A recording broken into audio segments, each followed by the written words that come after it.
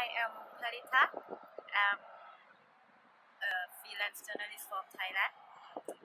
And you were here as part of a global summit talking about climate change. What is being part of a global effort and hearing from voices around the world uh, do to help you as a journalist from Thailand?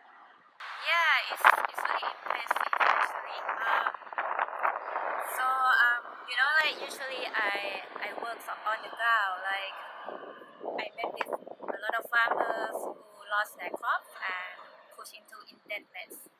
Uh, I met some fishermen who um, lost their cash because of changing climate pattern. So to be here, it is kind of giving me hope, you know, like because I always see people feeling hopeless on the ground.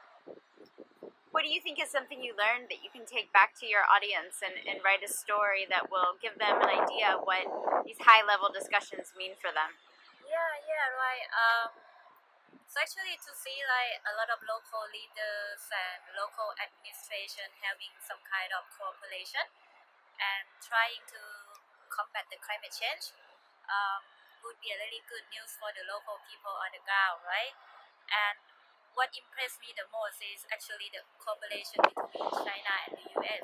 You know, like you have seen a lot of international news talking about the conflict between China and the US, about the trade war that President Trump announced, or even about um, the way that Xi Jinping, you know, firing back to the US.